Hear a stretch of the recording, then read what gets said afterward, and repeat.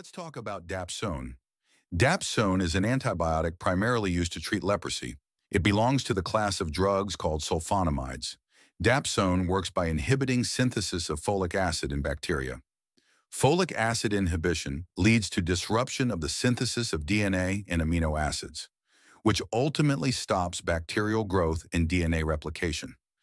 Take a look at this chart, which shows the process of formation of tetrahydrofolic acid, an active form of folic acid, which is responsible for DNA synthesis and reproduction in bacteria. Dapsone inhibit dihydropteroate synthetase enzyme.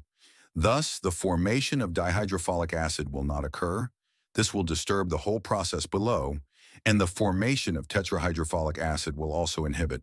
In this way, dapsone help to inhibit the growth of bacteria and give relief to patients suffering from leprosy. Hope you found this helpful. Thanks for watching.